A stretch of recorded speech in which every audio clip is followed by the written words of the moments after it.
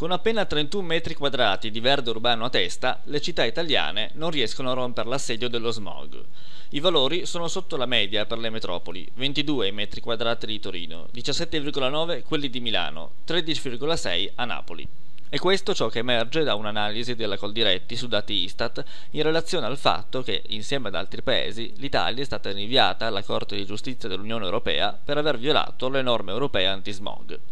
In particolare, per il nostro paese, la contestazione riguarda il superamento dei limiti di PM10, le cosiddette polveri sottili.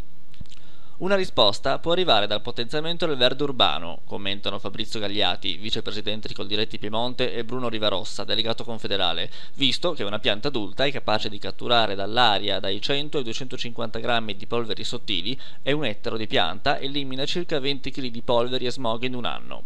In questa direzione il bonus verde, che prevede detrazioni del 36% per la cura di terrazzi e giardini, sia privati sia condominiali, è certamente d'aiuto. Oltretutto, ricordano Gagliati e Rivarossa, offre anche un importante sostegno al settore florovivaistico made in Piemonte, che genera una produzione lorda vendibile di oltre 130 milioni di euro, di cui con più di 1100 imprese diffuse sul territorio, una superficie complessiva di 1300 ettari, una produzione di piante ornamentali di oltre 10 milioni e un totale di circa 3500 addetti. Un provvedimento, concludono Gagliati e Rivarossa, che può quindi arrivare a portare benefici all'intera collettività, favorendo la diffusione di parchi e giardini in città capaci di catturare le polveri e di ridurre il livello di smog sempre più pericoloso per la salute dei cittadini.